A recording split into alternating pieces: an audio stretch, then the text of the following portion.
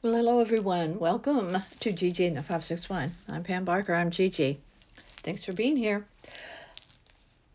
You know what? I think sometimes people do not give other people the benefit of the doubt of having a functioning brain. Take, for example, the recent announcement from Goldfish, the makers of Goldfish I mean, it's just this little tiny fish cracker. And personally, you know, my favorite cracker is just a club cracker. We get them at Aldi. They're not expensive. They're their brand or whatever brand it is. And they're slightly salty. They're delicious. I love those. Those are my favorite crackers. But um, when our granddaughter was small, goldfish were good. There was a time when I ate a lot of goldfish but here's where the thing comes in about the dumbing down in a way in this in this world. Why do you think the makers of goldfish that tiny little cracker they're changing the name to chilean sea bass crackers? And you can find out more. Chilean sea bass chileanseabasscrackers.com that's a mouthful. But here's why they're trying to appeal to millennials, Gen Zers, Gen whatevers. Get, you know, give me a break, people. Stop with the labels. But um, they want them to buy the crackers again and not just think they're for children. I'm sorry. You need to change the name of goldfish to Chilean sea bass because you're afraid people are not smart enough to know they're not just for kids. That's the fear. They're not just for kids. You need to buy them, you need to eat them. I think we get it. I think as we grow up, we understand our changing taste and our changing, you know, hey, you know, animal crackers, little crackers shaped like animals in a box that you could carry like a purse sometimes you want those? I don't know. You had them as a kid. They were great. They're bland. They're, you know, but it's just this constant.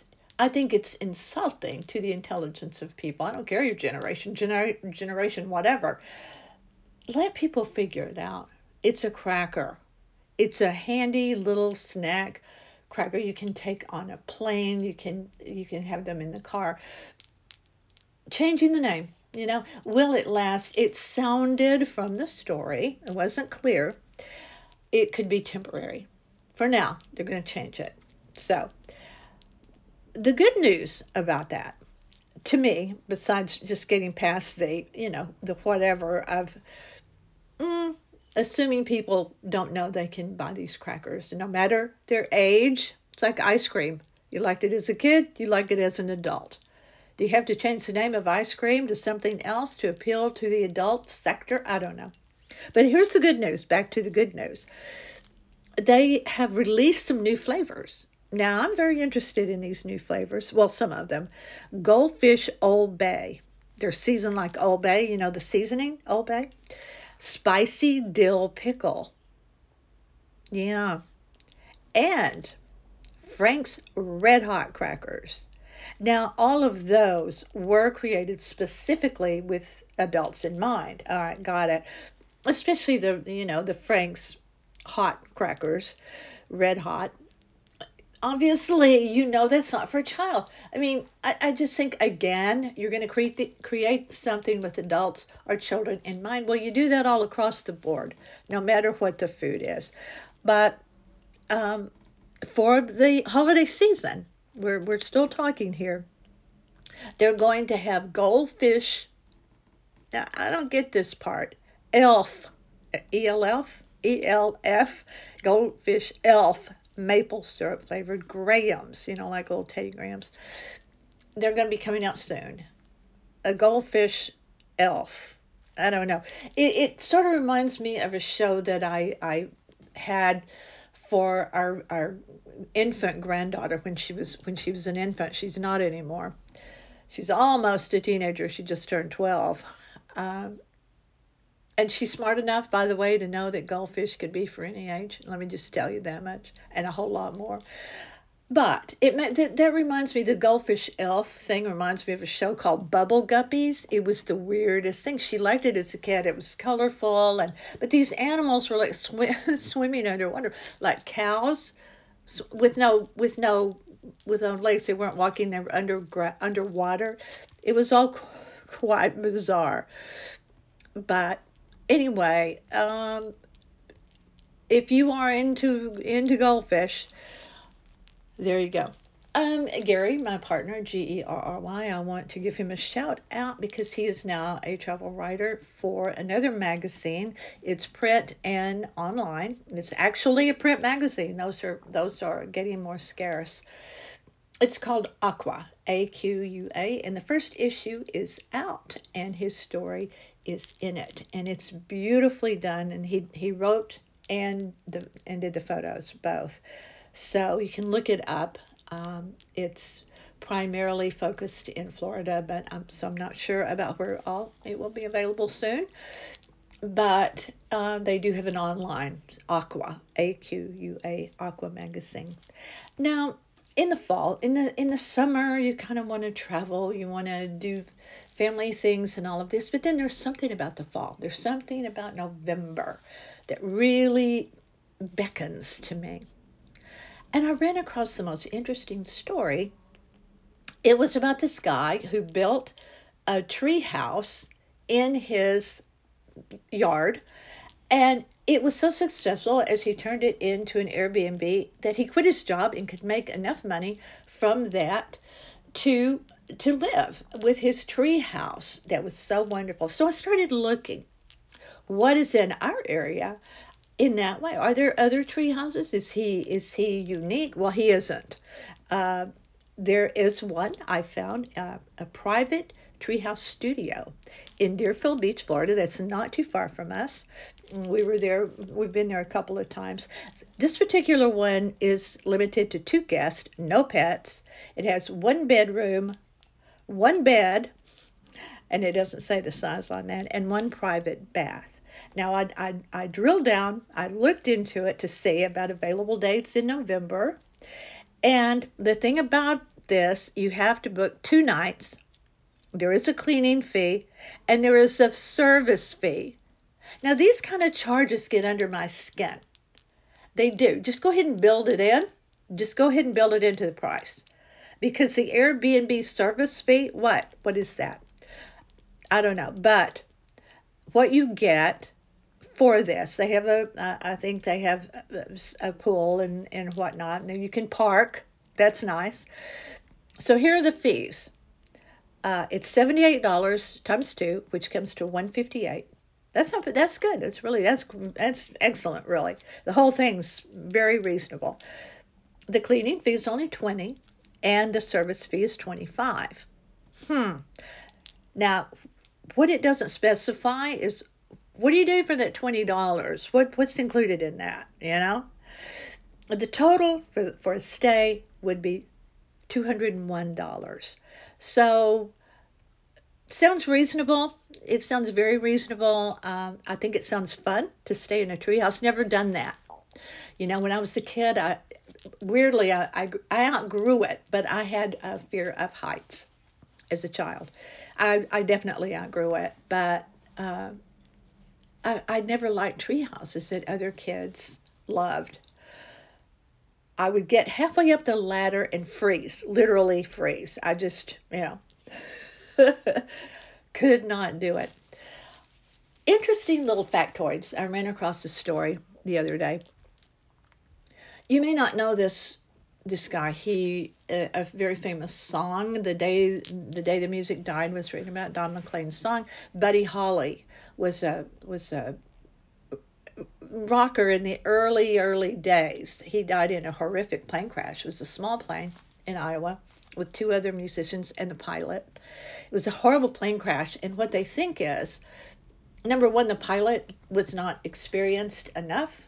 He had actually failed some of his tests, and yet he took off in bad weather, low visibility, and the plane he crashed it right into a cornfield. And it was it was very bad, horrific plane. There were no good ones, but I mean this one. What made it tremendously just unimaginable was what they think is he was misreading the instrumentation because he wasn't qualified. And he thought low visibility, really couldn't see. He was lying, relying on the instrumentation, and he thought they were ascending and they were descending and, and smashed into, into the ground with unbelievable force. And the photos certainly prove that. But what was weird about this the story was interesting. This happened in 1959 when the when the crash happened.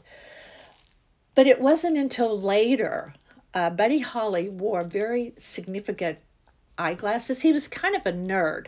If you see his look in the photos, he his his optometrist kind of helped him figure out a way to not be so so geeky looking when he was doing his music. And he brought his optometrist, ophthalmologist, whichever, went to Europe, found while he was there, he found these very heavy frames, and he thought those would be good. They would be iconic, and they definitely are. And so he brought a couple pair back for Buddy Holly specifically. Well, the glasses they found certain things, uh, like his wallet and certain things like that, but they they didn't find these iconic glasses until way later when the when the snow thawed, and then they found his iconic glasses. I never did know that story, and I'm not sure why. It was a recent story because it didn't seem, as I drilled down, there was anything new to add to that. They're they're actually at the Buddy Holly Museum. Uh, they're there. His widow uh, sold them. The museum has them, and uh, but how sad and tragic. And I I wanted to add this to the podcast because I thought it was such an odd odd story and how tremendously sad the the whole thing was. Last week, uh, the fourth Thursday of every October, every year, every single year, is World Champagne Day. Now, I posted some photos of Gary, G E R R Y, but pronounced Gary, and I in Reims, France, uh, last year, last August. Um, that's where Veuve Clicquot uh, is. That's their home. That's the the uh, winery is there. The champagne is is made there, and we were there. We visited, and we had so much fun. And so I posted that, and somebody came in and said, "Have fun." And said, "Well, I would if we were there again, but we're not." World Champagne Day. It's just fun. Uh, I think people have a love hate. They either hate it or they love it or they just don't care. Uh, very close to Champagne is Cava, and we had some. We went to an event last week, and they had uh, Cava. That was that was pretty good, and uh, so World Champagne Day. My my favorite champagne is Veuve Clicquot or Moet and Chandon. Those two. Beverages of any kind. You're very very. It's very specific. Your taste buds. I for one for a while I drank Coke Zero. And then I could not stand Coke Zero anymore. I hate with all my heart Diet Coke. Gary, my mate, drinks uh, Coke Zero. I drink regular Coke. I don't drink much of it, but I do drink it. And I like the Cokes that are made in Mexico because they have cane sugar in them.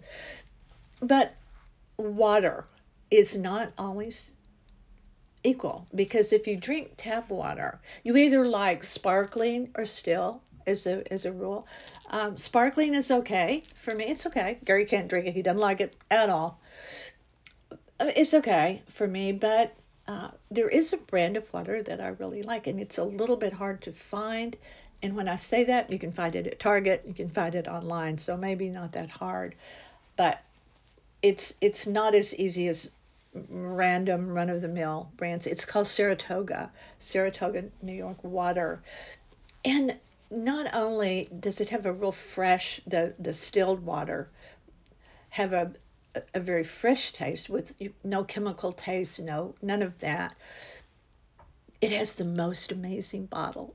And it's all about presentation, isn't it? I mean, really, it's all about the look. I was, I, I, I because it's a, it's a, a a, blue, like cobalt, cobalt, dark blue. It's the most beautiful bottle. I hate to throw them away when I'm drinking the water. I do. I mean, I recycle, but oh, I hate to do it because they're so pretty. I feel like I need to collect them and put flowers in them, you know? um, speaking of the look that people have, I saw a, a really good, very, very good video of uh, Mark Cuban, Dallas Mavericks. If you, I think he has sold them, but he was the owner. Not really keeping up so much with the Mavericks, but he is a really smart man, and I respect him very much. We met him. We actually, Gary and I met him, and he's one of the nicest guys ever. Very down to earth to be a billionaire, whatever he is. Very rich man, and but very, very nice and very personable. But most importantly, to me, he looks great. He dresses for when he's at an event or at when you meet him. We met him socially. He looked good. It's all about the look. Hence, I love the water in the cobalt blue. But no, it's about the water for real, but you know. Um, we are almost to the end of daylight savings time. It ends the weekend of November 2nd, next weekend. That weekend is really busy if you're, you know, if you're into checking the calendar and things. You have to deal with uh, falling back an hour. In other words, we gain an hour, so it gets dark very, very early. It's already getting dark early, earlier, quite a bit, but it will be dark very, very early. And you have to adjust to that. You really do. And I just wish they would pick, pick one or the other and leave it, but they won't. And I say that every time. But if you celebrate, it's also the Day of the Dead. And many people do. They have all sorts of celebrations and parties and lots of great decorations and you know and feast and honoring uh, honoring those uh, so it's a very busy very busy weekend for some or at least a transitional weekend where you go from very very bright morning evenings and you have to switch everything all out of your mind and, and recalibrate, recalibrate your whole vibe, your whole juju. So, um, saw an interesting post on on Facebook. It's something that I learned as a kid. It's something that I had the opportunity to teach young managers. Believe it or not, they needed this kind of training when I was in a major corporation, a media company. It's a table setting. And the whole point of this, it's the placement of plates, your stemware, your flatware, everything, your napkin even. Where does it go? Where does it go? And it's important. This kind of stuff needs to stay alive because it is important. But the whole purpose of that was there is no place on your table for your phone. Put it away. And I think we're all guilty, very, very guilty of putting the phone on the table when we're at dinner. And we need to we need to not do that. We need to it would it really hurt us not to catch a message or something in you know a during the time of a of a meal with people. I don't know. Um, one thing I uh, also uh, have on hand these brand new cheese storage bags. They look like uh, kind of like the sacks you would take a lunch in as a kid to school if you took your lunch. Buying your lunch is always so much better, right? Especially if the food's good at your school. Uh, anyway, but you can look for that on our website northpalmbeachlife.com. I wrote about these cheese storage bags. Now I want to leave you with this, but then don't go because I want to I want to tell you where else to go on some places. But this is my little, mm, you know, no matter how you feel, get up, dress up, show up, and never give up. And I like that very much, especially now things are things are at a interesting place in our country right now. Now, what I want you to do is go to YouTube, look for NorthPalmBeachLife.com, check out all our stuff that we have there as well.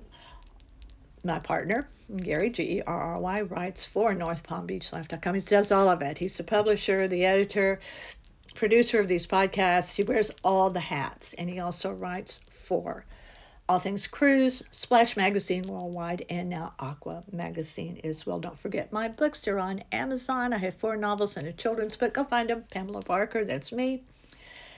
All these podcasts, every single one of them, rest on 20 platforms iTunes, Spotify, Pandora, and Amazon, and obscure sites that you may never have heard of, but they're always at northpalmbeachlife.com. Thank you so much for being with me. Enjoy it when daylight savings time ends, if that's your thing. I'm Pam Barker, Gigi in the 561. Stay with me.